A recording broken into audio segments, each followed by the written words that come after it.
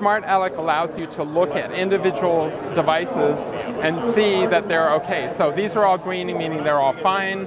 Um, in the case of a, a drive that was predicted to fail, this would be yellow in the drive that had, in the case of a drive that had I/O errors or was actually had actually failed, it would be red. In all situations, um, Smart Alec will pop up a dialog box telling you to go and open the Smart Alec application and figure out which drive has failed. So we think this is a real game changer. The major reason we think it's a game changer is it's going to be free. It's not something we're charging. Um, we're just going to ship it for free. It's going to be in Apple's App Store. You can download it from there.